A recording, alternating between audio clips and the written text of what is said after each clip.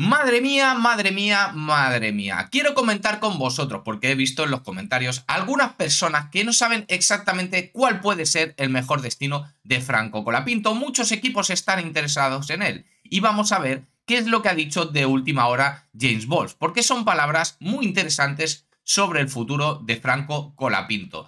Veremos también cómo se sigue metiendo desde la prensa española presión elconfidencial.com, un medio muy importante, presión a Checo Pérez porque Sergio Pérez ya tiene los días contados en Red Bull. Solo falta saber cuándo. Aquí hay unas declaraciones también de, de Toto Wolff, no, de James Wolf, muy, muy interesantes que nos hablan mucho del futuro. Y para todos aquellos que tenéis alguna duda de qué equipo es el mejor, pues vamos a ver, sin saber cuál puede ser el mejor, porque nadie tiene una bola de cristal para decirte quién va a ser el equipo que gane, vamos a ver qué es el equipo Williams, ¿no? Porque Williams tiene una trayectoria y una historia muy grande. Y es posible que, ante toda la sombra que estamos viendo de posibles ofertas a Franco Colapinto, la mejor la tengamos en casa.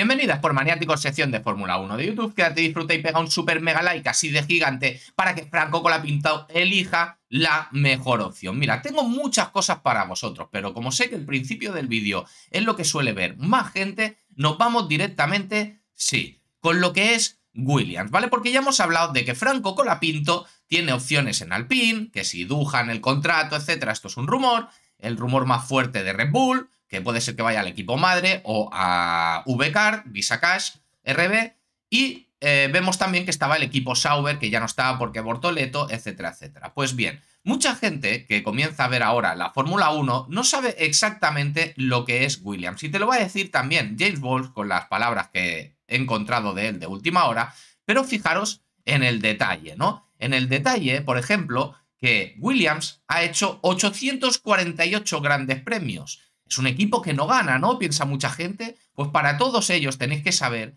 que lleva 114 victorias en Fórmula 1. Es decir, una de cada ocho carreras disputadas en la Fórmula 1, estando Williams en el campeonato, la ha ganado Williams. Ha hecho 128 pole positions y 133 vueltas rápidas. 313 podios en 848 grandes premios. Esto no llega a la mitad, pero casi. Estaríamos hablando de aproximadamente un 30, 33, 36%. No soy excelentemente bueno en, los porcentajes, pero un 33%, imagínate, de carreras de la Fórmula 1, Williams ha estado en el podio.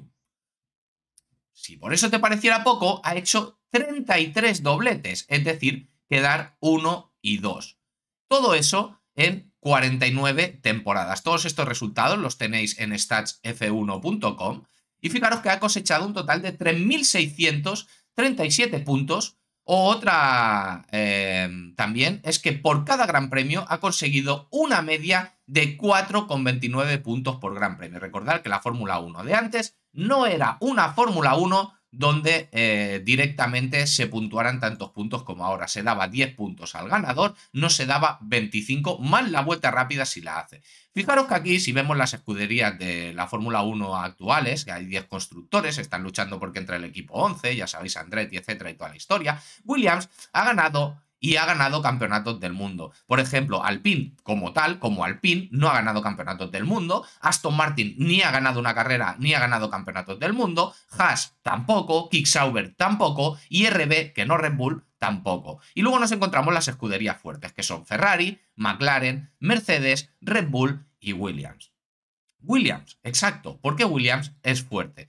¿Cuándo se fundó Williams? Para que veáis cómo la mejor opción a lo mejor la tenemos en casa y no nos estamos dando cuenta. En 1975, solo Ferrari. En 1950, Aston Martin. En 1959, McLaren en 1966 y Mercedes en 1954 están, eh, se, se crearon antes, ¿no? Entonces, para que veáis que el historial que tiene Williams es impresionante de lo antiguo y lo importante que es en la Fórmula 1. Quiero que veáis algo, porque esto va a demostrar por qué la gente no tiene tanta confianza en Williams. Y es simplemente una cuestión de memoria histórica, de entender la Fórmula 1, de saber lo que es el y lo que ha sido sobre todo el equipo Williams, ¿vale? Fijaros aquí, por ejemplo, que la última victoria de Williams la hizo, la número 114 la hizo en España, en el circuito de Montmeló, eh, Pastor Maldonado con el FW34 con un motor Renault y neumáticos Pirelli. Esa fue la última victoria en 2012, ¿vale? Y desde 2004, para que entendáis cómo van las cosas, Williams no había encadenado una victoria. Estamos hablando que desde 2004 a 2012 van 8 años. Es por eso que la gente piensa que Williams no es una escudería fuerte, pero más lejos de la realidad, nada más lejos de la realidad, porque Williams ha sido muy fuerte en el pasado. Fijaros, llegamos a 2004, ¿vale? El año que viene hará 13 años que Williams no gana, ¿eh? Son muchos, sí. Pero si nos vamos a 2000, y luego hacía 8 que no ganaba, pero luego vámonos a 2004 y vamos a ver qué es Williams desde ahí. Fijaros, entre eh, Montoya y Ralf Schumacher ganaron desde la victoria número 104 a la 113, 11 victorias con un coche que no era igual de competitivo que el Ferrari, no era igual de competitivo que el McLaren, ya recordamos la época de Hakkinen, Schumacher, etcétera, pero era el tercer mejor coche sobradamente y en circuitos donde el motor era muy importante, ese motor BMW destacaba y conseguía victorias importantes. Le fallaba la aerodinámica. Pues fijaros que estamos hablando de 2004, 2003, 2002, 2001, 1997, 96, 95, 93, 93, un montón de victorias en el 93, 94, ¿vale? Para que veáis que cuanto más vamos a profundizando en el mundo de la Fórmula 1, más nos vamos dando cuenta de que Williams sí que puede ser una de las mejores opciones para Franco Colapinto. Williams va a volver. Eso confiamos los eh, antiguos de la Fórmula 1, porque sabemos que es una escudería histórica. Y quería enseñarte eso porque, porque también Wolves, y ahora ya nos vamos con el, con el tema de, de, de James Wolves, ¿vale? Ha querido, ha querido ser muy claro eh, en las posibilidades, en, lo que viene en el futuro, ¿no? Y creo que esto siempre estamos diciendo que sí, que si nos vamos para Red Bull, que si no sé qué, que si no sé cuánto, pero no estamos entendiendo bien, a lo mejor, lo que está pasando dentro del equipo Williams. Esta transformación camaleónica que le digo yo, que puede llegar a hacer que realmente vuelva a ser un equipo ganador, ¿no? Si mal no, yo tengo la esperanza. ¿Qué dice? ¿Eh? Eh, en un evento de Autosport Business en Soho House, eh, James Wolf, eh, última hora, dice, tenemos que aceptar que los años 2024 y 2025 son los escalones en nuestro camino, pero no son la clave. Son años en los que tendremos ligeras actualizaciones de rendimiento. Por lo tanto, estamos hablando de que el objetivo es 2026. Avanzaremos, creo que ya lo hemos demostrado bastante, pero vamos a invertir todo en nuestro futuro. Y eso es 2026 donde casi todas las reglas cambiarán. Nada se mantiene ni una sola pieza del coche. Para un equipo como el nuestro significa, ¿vale? Que gran parte de la organización ya está trabajando en 2026. Falta un año y medio, pero no importa. ¿Veis cómo están focalizando para volver a ser el equipo que eran? La, era híbrida, la era donde el efecto suelo es tan importante. Ya sabéis que en 2026 van a reducir la aerodinámica. Eh, se le ha atragantado un poco a Williams. Y ellos lo saben, pero el objetivo no es recuperarse en el 25, es llegar fuertes a 2026. Llevan unos seis meses diseñando el coche del 2026. Los mejores aerodinamicistas trabajan de cara al 26, no para el 24 ni para el 25, ¿vale? Para que veáis cómo directamente James Ball va dando pistas de por qué este Williams aún no está haciendo podios, por ejemplo, y, y qué es lo que viene, ¿no? Luego, si analizamos qué es lo que viene en Red Bull, se ha hablado de que el motor no va a funcionar bien para el 26, etc. Si miramos lo que es Alpine, un equipo que probablemente quieran vender, quizá la mejor opción la tenemos en casa. Dice, sin ninguna duda, en las primeras conversaciones que mantuve cuando me incorporé a Williams, expuse un camino y un coste, y lo que me transmitieron fue, no tomen ningún atajo, hagámoslo bien porque lo haremos bien, ¿vale? Es decir, todo está planeado en Williams y el objetivo se sigue haciendo, pese a que no hagan podios, es porque el objetivo es a largo plazo o a medio en 2026.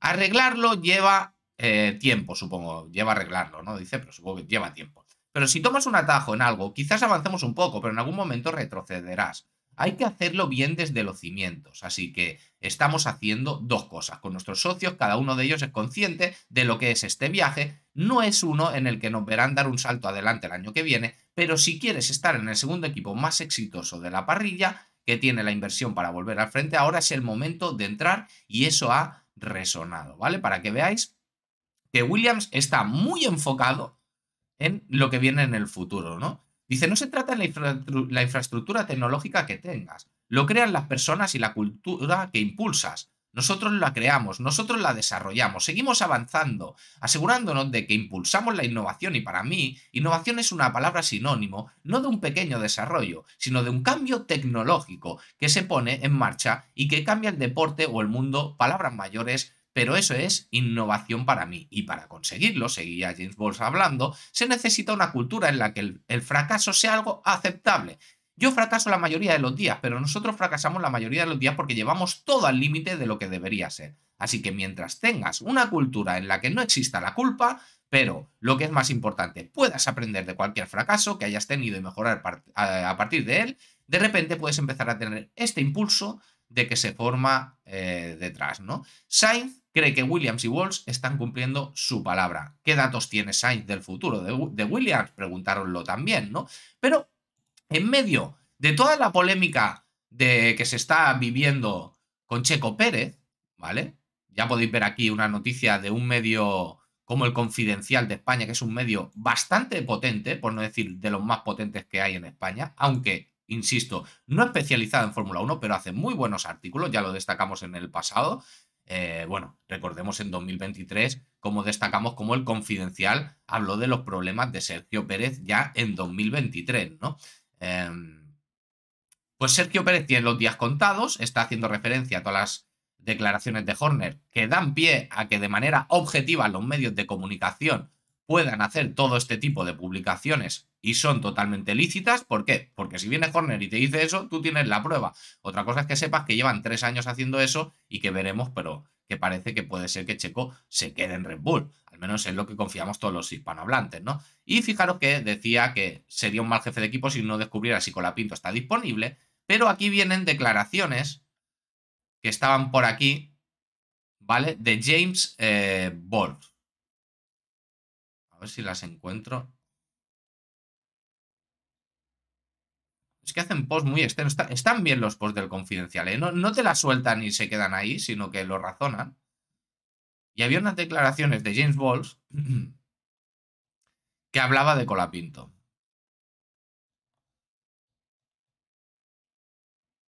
Vale, mira, ¿eh? Tengo una responsabilidad tanto con él como con Williams. Espero que podamos tener buenas noticias para poder comentarlas con todo el mundo.